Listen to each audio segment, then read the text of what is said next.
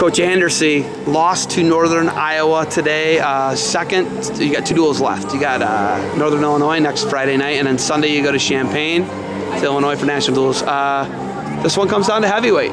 Mimo and Cabell in a uh, competitive match. Yeah, it was. It was actually a pretty decent match. He beat he beat Ca- uh, Cabell last year. It was a close one. He ended up beating him. And then he comes back and surging in the third period.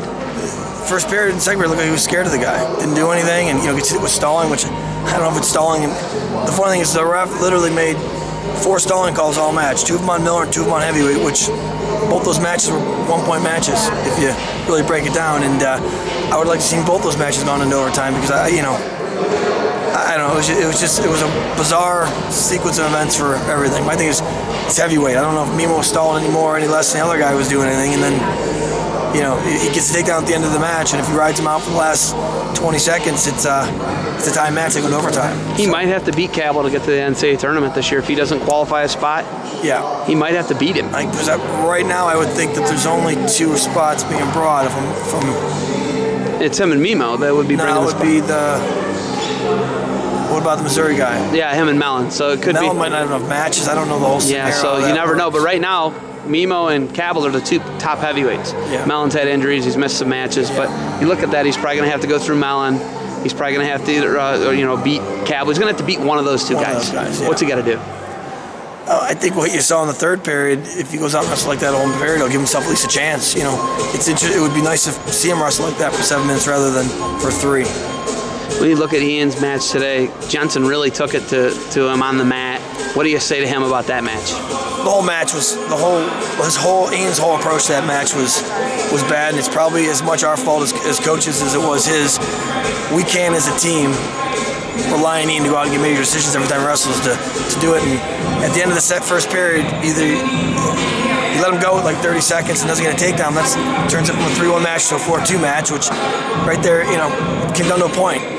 Um, second period, I think the bottom line here, though, regardless of all the stuff we talk about, is that you can't uh, you can't get ridden out in the sport and expect to win. Um, he got ridden out and didn't do a thing, and the other kid didn't do a thing, and we ended up getting hit for stalling, which was very, very bizarre, I thought. My thing is, we had a base, we were trying to come up, the kid wasn't really trying to turn him, he was just riding with the, uh, it was a...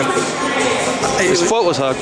His foot was hooked and he was, it was underneath, so kid went with a good strategy. I think after, it's like anything else.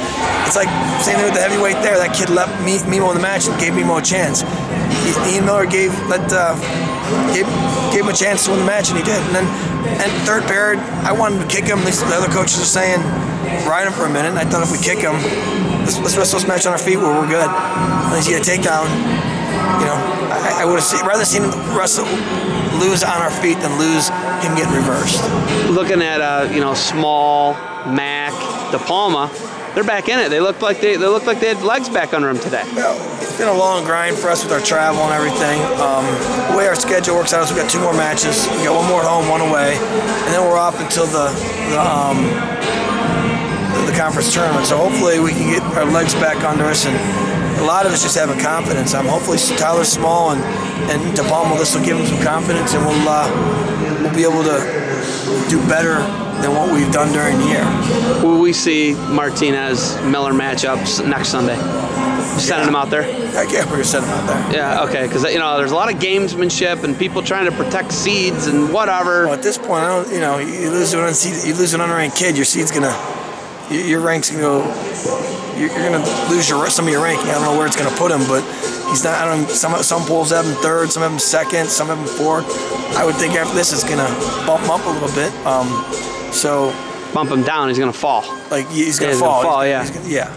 Um, so I would think that you know going out and wrestling a guy, guy from Illinois will, you know, if he wrestles well and the object is to win, you know, maybe get him something back. I don't know, but we're, we're planning on wrestling him.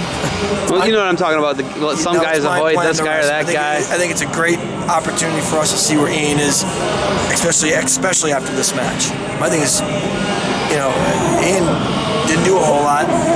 Was flopping around at the end, like you know. My thing is, Jensen wrestled a good match, but I don't think Jensen is a. He's got to be a lot better guys at the national tournament. He wants to be an All-American or a national champ than, than what he did today. And if he wrestles like he did today, um, it's going to be it's going to be a rough tournament for him. but I think the idea is, is that this was one match, and, and, he just he went about some things the wrong way as far as during the match, and and uh, he needs to correct those, and we can we can move forward and, and become better. Step Palm out of the funk. I'll tell you next week. next week? I, I, he, wrestled, he, wrestled, a good match. He went out, took the guy down, and did, did some of the moves that he does, and he did a good job.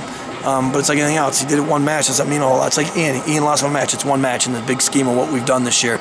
Um, let's let's see how they both come out next week at home and how they do at home again, and we'll go from there. All right, coach. You got anything else for me? No.